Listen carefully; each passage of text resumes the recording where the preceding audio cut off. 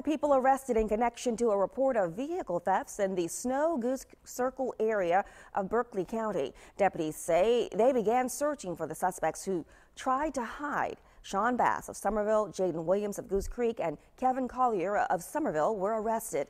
All three are 17.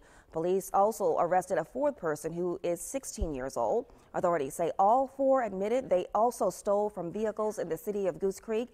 So Goose Creek police are investigating along with the Berkeley County Sheriff's Office. More charges are expected.